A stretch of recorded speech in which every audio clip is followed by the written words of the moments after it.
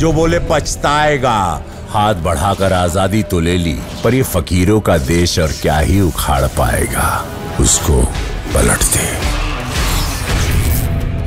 जो बोले देश कुछ कर नहीं पाएगा, दुनिया के सामने हमेशा हाथ फैलाएगा, उसको पलट दे। जो पलट दे देश की पहचान, वो हर हाथ